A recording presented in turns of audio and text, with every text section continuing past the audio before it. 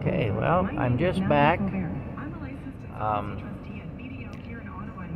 I'm just back. I got my two bags of potatoes at a dollar a piece. I left a couple of bags at my cousin's place along with a chicken there. And um, she's fed me many times, so turn that down.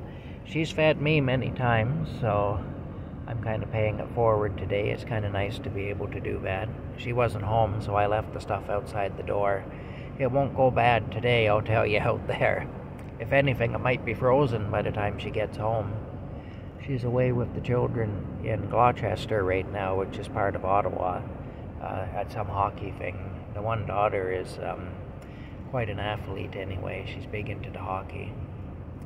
And uh, they're, they're not having an easy time of it right now. A bunch of bad stuff has happened, and they're still recovering from it all, so I was able to, to help a little bit anyway today, and it's not much, but compared to the food I've eaten there over the years, it's really not much. But anyway, still, it's nice to be able to help when you can, you know. And I say for the chicken and four bags of potatoes, 10 pound bags of potatoes, uh, for all of that, I paid $11. I literally paid with pocket change.